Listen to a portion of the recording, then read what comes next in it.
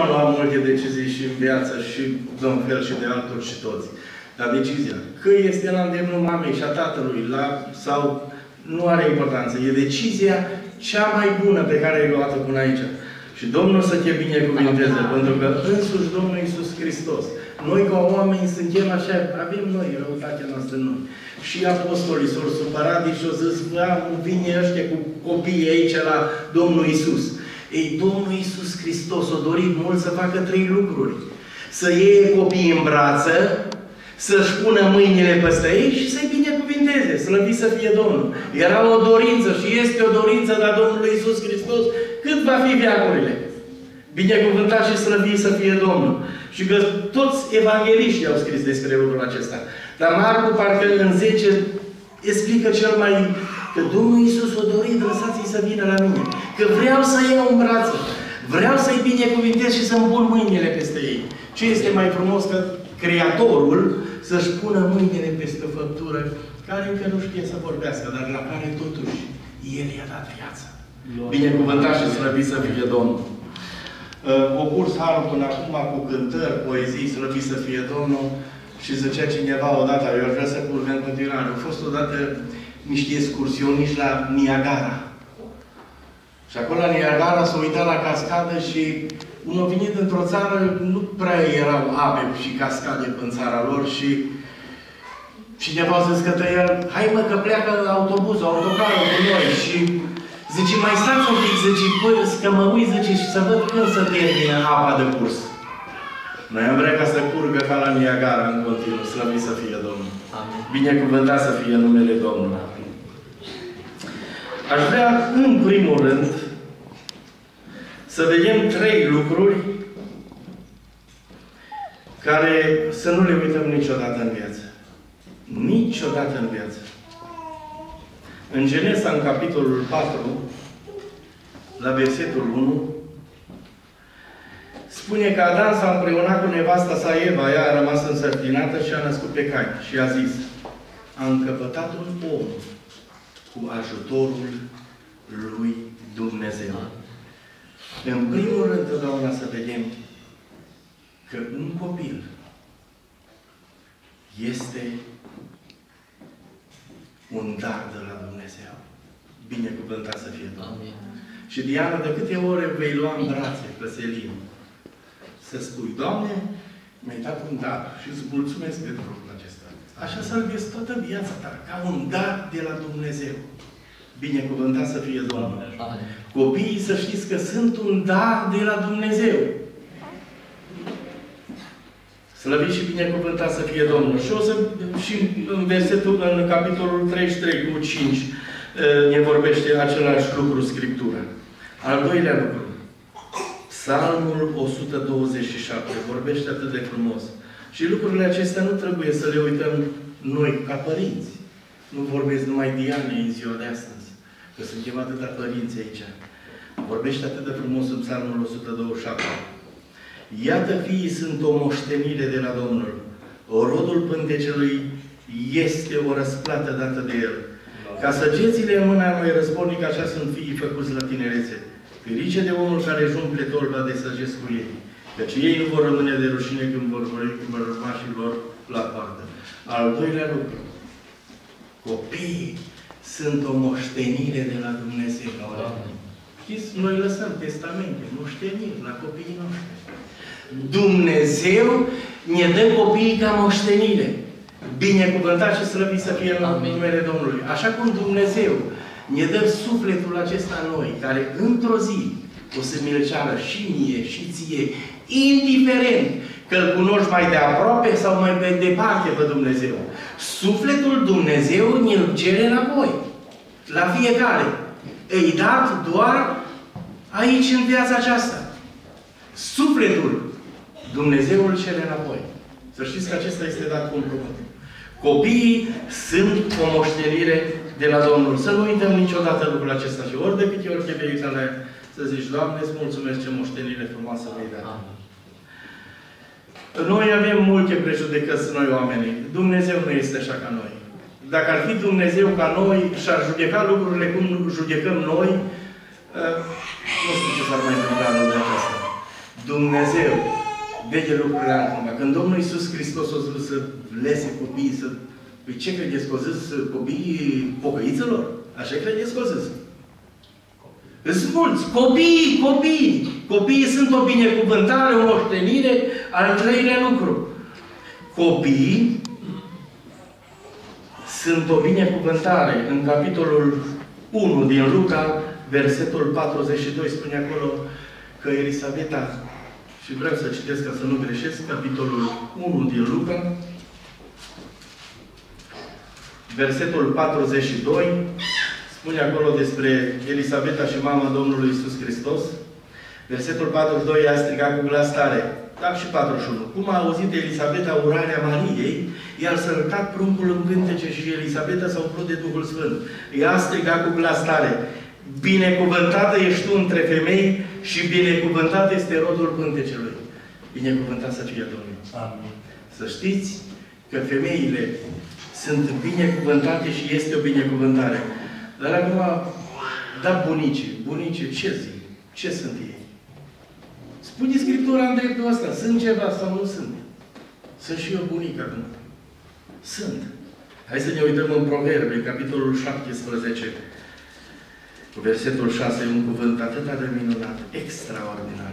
Copiii copiilor sunt cununa bătrânilor. Și părinții sunt slava copiilor lor. Știți, eu când îl sun pe băiat la graț și mi-l dă pe nepoțel are 2 ani și zice, nu, nu. Adică bunul. Eu sunt nunu și soția e nuni. Bunii. Mi se umple inima de bucurie. E ca o coroană. Nu mai putea să-mi dai ce vrei pe lumea asta. Când zice, nu, nu. Nu, nu, strigă la telefon. Binecuvântat să fie Domnul. Și așa să vedeți totdeauna. Și așa să fie, cum spune Scriptura, binecuvântat să fie Domnul. Știți că două femei în Scriptură, una a fost mereu înțepată. În 1 Samuel, în capitolul 1, de la versetul 9, vedem acolo despre Ana, că una era mereu înțepată de Penina. Ea n-avea copii. Uh, plângea mult, era mâhnită de situație. Și putea să dea vina pe câte lucruri. Și putea să dea vina chiar pe Dumnezeu, Doamne, dar de ce n-ai lăsat să dea? Și totuși, și disprețuită de ei, preot în vremea aia. Era disprețuită. Dar ea se ruga neîncetată, Doamne, doresc un dar de la Tine. Doamne, vreau o binecuvântare de la Tine. Ea așa a văzut lucrurile. Ea așa a văzut lucrurile. Ca o binecuvântare. Și Dumnezeu i-a ascultat rugăciunea, slăvit să fie Domnul. Să nu uitați niciodată, când o vei lua în brață, spune Ana, Diana, să o vezi ca o binecuvântare de la Dumnezeu. Și nimic altceva să nu vezi. Ca o binecuvântare, ca o moștenire. Ca o răsplată a pântecului pe care Dumnezeu o dă. Binecuvântat să fie numele Domnului. Dincolo de alte situații, alte împrejurări pe care vei trece în viață, de câte ori o vei vedea, să vezi ca o binecuvântare de la Dumnezeu, slăvit să fie Domnul. Știți că o familie, Moise, a fost ascuns și el nu știa mamă sa și taică său. Apropo, știți care e tatăl lui Moise? Nu mă face să nu și fluier în biserică. Mamă. Și mamă sa era o Iocobet. În 6 cu 20 în Deuteronom scrie acolo. Era mătușa lui Arman. O făcut tot posibilul ca să scape copilul, să scape binecuvântarea de la Dumnezeu. Fii încrezătoare, Diana, cum a fost și Ana. Fii încrezătoare în Dumnezeu, indiferent prin ce vei trece. În viața aceasta mai sunt și greutăți, mai sunt și lucruri neplăcute. Dar cu Dumnezeu vei putea. Slăvit să fie Domnul. Cu Dumnezeu vei putea. Și nu te va lăsa niciodată slăvit să fie Domnul. Amin. Și a fost ascuns acel Moise. Și Dumnezeu a purtat de grijă extraordinară. Și după un instructaj de câțiva ani de zile, Moise n-a uitat lucrul acesta când a fost mare. A prins. A prins. A luat. Și știm ce s-a întâmplat și cine a ajuns Moise binecuvântat să fie Dumnezeu în vece vecelor. Să știți că copiii, în general, nu fac, și eu am fost copil. Sunt unii care, și eu câteodată mă mai supăr, vor să-i facă maturi înainte de a, de a fi maturi. Vor să-i freacă prea maturi. Copiii sunt copii. Mi-aduc aminte eu de copilărie. Bun, era alte vremuri, alte situații, acum 50 și ceva de ani, dar copiii sunt copii și niciodată nu o să facă ce le spune părinții, să nu credeți. Nu o să facă. Ei mai mult, poate ce vede, dar ce, ce nu fac. Nu fac copiii totdeauna. Nici noi n-am făcut. Trebuie să fim foarte înțelegători. Copiii nu trebuie pedepsiți totdeauna. Am văzut, am văzut odată un lucru, spunea cineva, de fapt nu eu, că o mers în vizită la el și copilul de vreo 4-5 ani a vrut și el să ajute acolo și a vărsat cana cu cafea. Dar nu că ar fi vrut el. Nu știu, a vrut să facă și el. Nu a putut și a învărsat-o. Și i-a tras o pedeapsă, că român atâta știe, știți? Vorba românului. Apă, paie și bătaie. Asta știm noi. Dar după două săptămâni l-au auzit pe copilul de 4-5 ani, ani, ani că tras o minciună.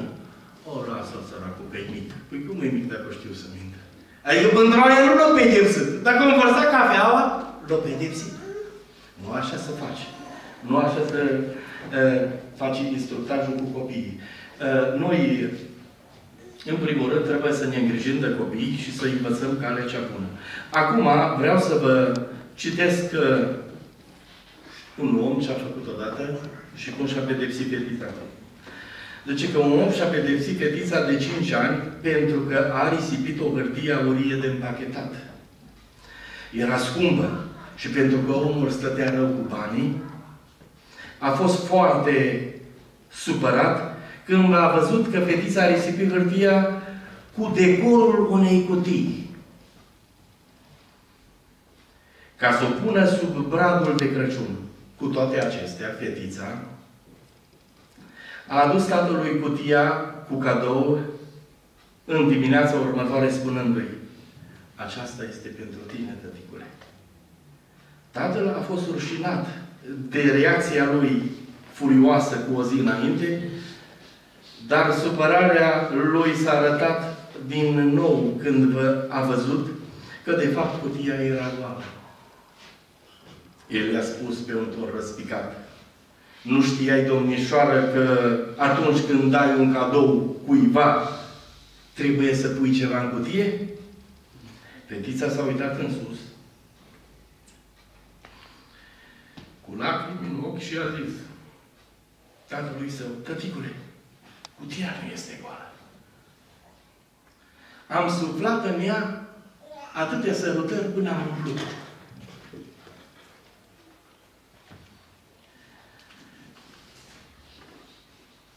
Tatăl s-a blocat, a căzut în genunchi și a îmbrățișat fetița și a rugat să-l ierte pentru supărarea lui fără rost.